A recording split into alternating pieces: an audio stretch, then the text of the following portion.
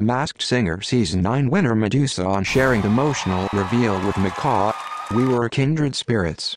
It was really emotional and it felt like something that I will hold on to for the rest of my life for sure, the singer under the mask tells EW.